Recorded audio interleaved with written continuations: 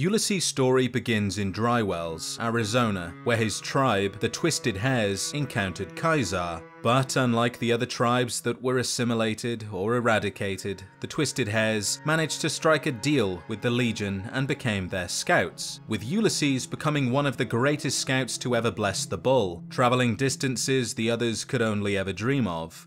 The thing that made him such a superb scout was his capacity to live off the land, making use of what grew in the desolate desert, which allowed him to travel lighter than most and cover greater distances in less time.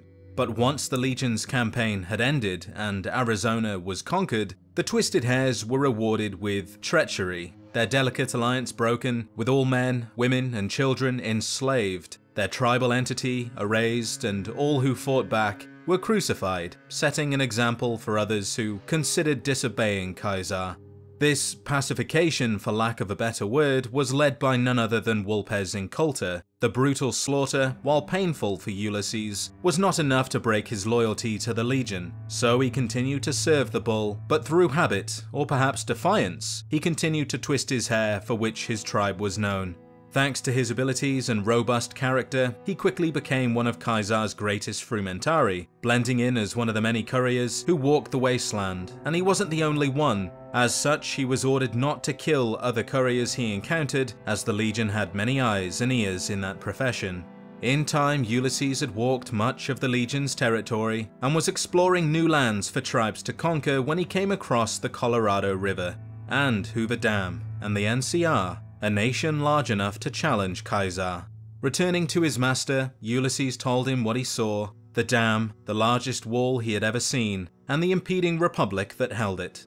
While Caesar became obsessed with taking the dam, Ulysses continued to roam, and between 2274 and 2277, he discovered a nation taking its first breath. A small community inhabiting the remnants of an old town known as the Divide, named for its supply line that separated the east and west. This place was filled with old world symbols that fascinated him, and for a time Ulysses thought about leaving the Legion. But to his dismay, the divide was discovered by the NCR, which then drew the attention of the Legion, and the small, prosperous community was now amidst two warring nations. Ulysses began to look for a way to free the divide from their grasp, but before he could, a courier delivered a package containing a device the NCR had sent from Navarro because of the symbols it shared with the divide. And this device woke up the old world, it had contained ICBM launch codes that automatically connected to the systems in the underground facilities and silos, which in turn detonated many of the nuclear warheads that were stored beneath their feet.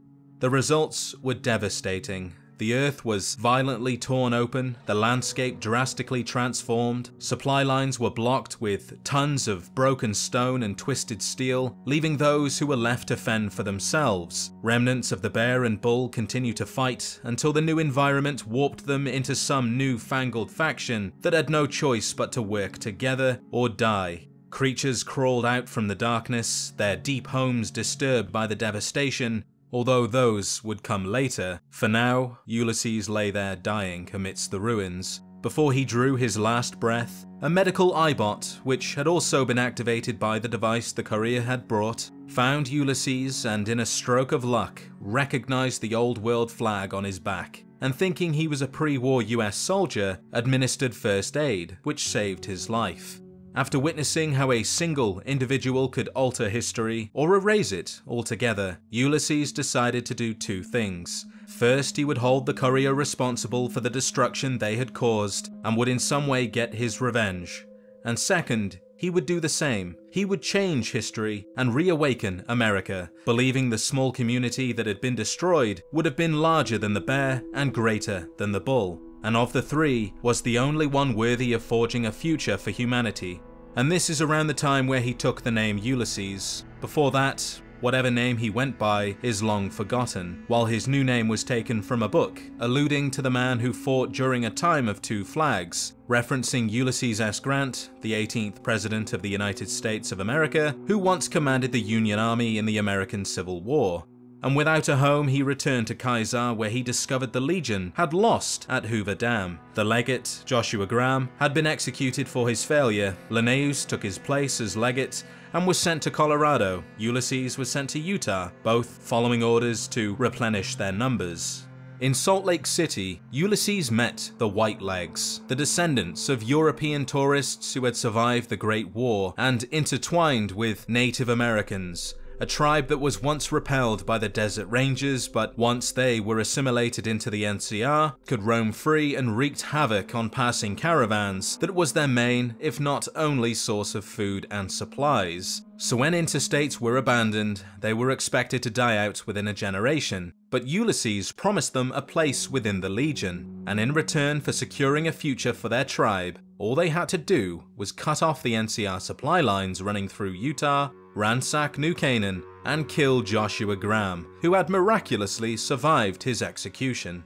And so Ulysses became their mentor, although instead of calling him Ulysses, they referred to him as the Flag Bearer after the flag staff he carried, a weapon known as Old Glory, a wooden flagpole with a golden eagle on top, which may be another one of Caesar's instances of imitating the Roman Empire, as legions of the Roman Republic had two eagles which were never to be captured, symbolizing the legion's courage, so Ulysses may have been an eagle bearer for the legion.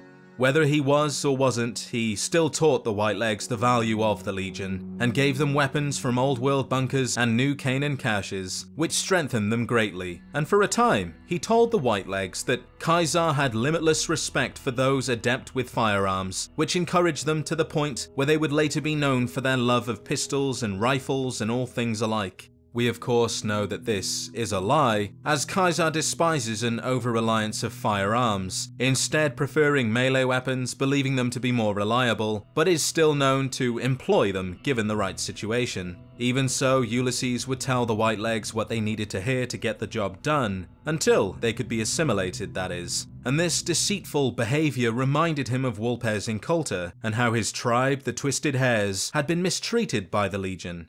He felt regret for what had happened and perhaps ashamed of the side he had chosen. This feeling was forcefully pushed aside. But then something happened, something he couldn't ignore. The White Legs began to admire him. He became an inspiration to them, and as a sign of respect they began to braid their hair, mimicking his own dreadlocks, and while they saw it as a sign of respect, Ulysses saw it as a hollow mockery, only serving to remind him of what he had done and it truly forced him to look at the man he had become. And this man Ulysses saw was filled with remorse and shame. Not long after New Canaan was destroyed, Ulysses said farewell to the White Legs and to Caesar and went off to forge his own path, looking for a way to change history and reawaken America, seeing it as both peaceful and strong and believing both the bear and bull had no long-term answer for the future, but would surely get in the way of those that did, as they already had once before, he wondered if there was a way to rid them both but for now he needed to collect his thoughts, and so he retired to Wolfhorn Ranch, becoming a small-time rancher and sometimes taking to the wasteland as a courier, all the while searching for a way to complete his quest. To tangent slightly, the grave at Wolfhorn Ranch represents Ulysses being cut out of the base game, as he was originally going to be a companion, but his recorded dialogue was so large it wouldn't fit on the disc, so he was scrapped and saved for later. Speaking of which, Ulysses later found Big Mountain, not by accident, but by tracking the irregular weather patterns similar to those from the Divide. Knowing that the storms that appeared after the courier's delivery were unnatural, he followed the inclement weather, leaving his mark as he went, just in case he got lost, or for those who may follow, with red for hostile areas, white for the way forward, and blue for hidden caches. Eventually he came to a weather station at the edge of the crater, and beyond that the rest of Big Mountain, filled with old world technology.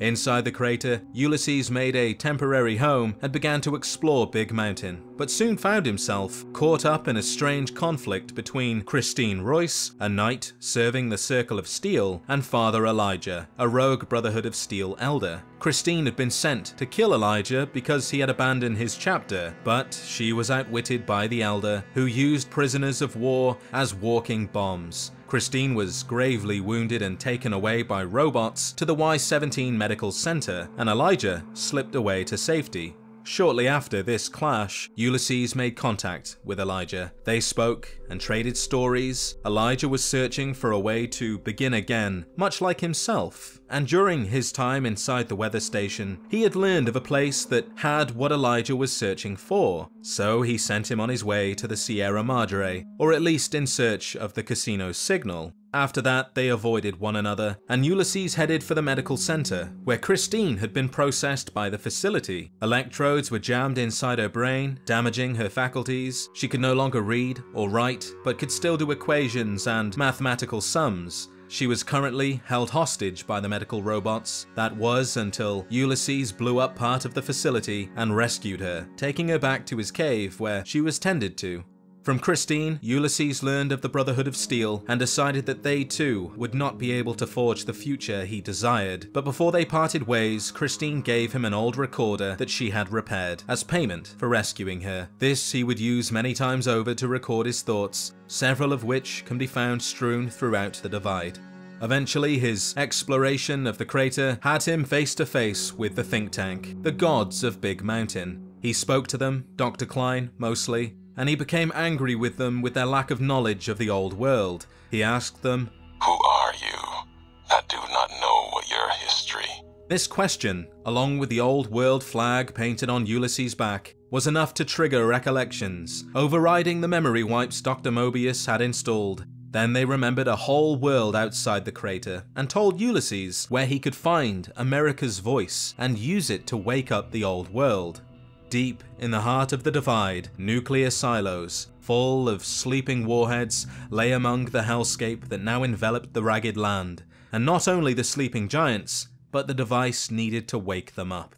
Ulysses departed Big Mountain, now having a way to wake up America, and with these warheads, he could reshape the world single-handedly, just as the Courier had done to the Divide. But first he needed to find the silos, which was easier said than done, as this new Divide had marked men, death claws and tunnelers, and Ulysses would need time to prepare for his journey. So he returned to what he knew, delivering packages as a courier while preparing to enter the Divide and locate the undetonated warheads.